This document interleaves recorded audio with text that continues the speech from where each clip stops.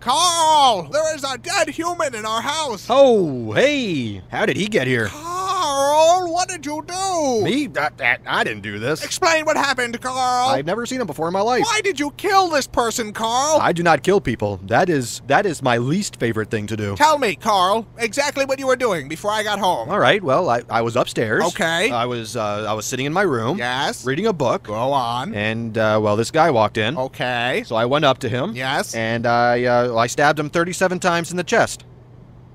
Carl, kills people. Oh, oh, w- wow! I, I, I didn't know that. How could you not know that? Yeah, I'm in the wrong here. I suck. What happened to his hands? What's that? His hands. Why? Why are they missing? Well, I uh, I kind of uh, cooked them up and ate them.